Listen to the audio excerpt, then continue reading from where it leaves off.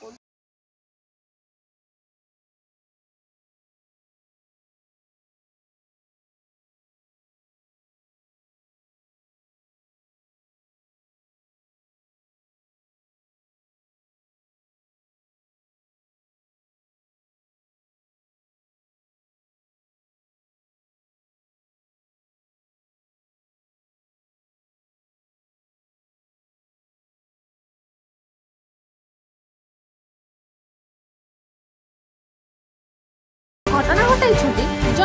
ଜଣେ ଲୋକପ୍ରତିନିଧି।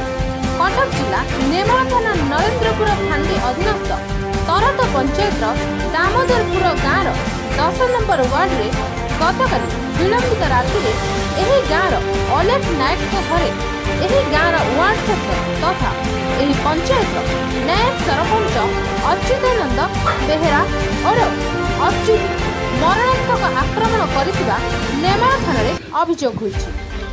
ସୂଚନା ଅନୁସାରେ ପୂର୍ବ ଶତ୍ରୁତାରୁ ଅଚ୍ୟୁତି ଗତକାଲି ବିଳମ୍ବିତ ରାତିରେ ଆସି ଅଲେଖଙ୍କର ଘର ଗ୍ରିଲକୁ ବାଡ଼ାବାଡ଼ି କରିବା ସହ ଅତି ଅଶାଳୀନ ଭାଷାରେ ଗାଳି ଗୁଲଜ କରିଥିଲେ।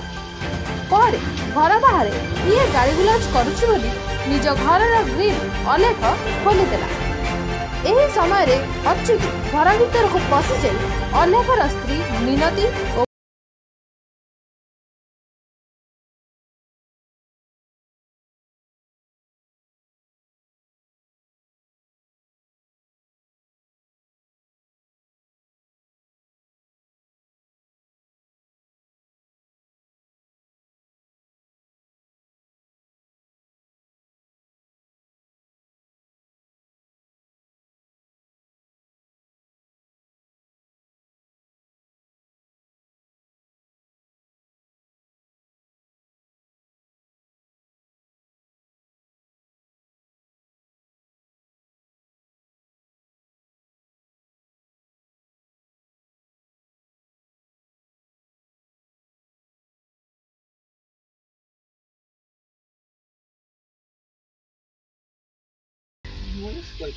ವಿದೇಶ ತಮ್ಮ ಹುಡುಗಿನ ತರೋದು ತರೋದಿಲ್ಲ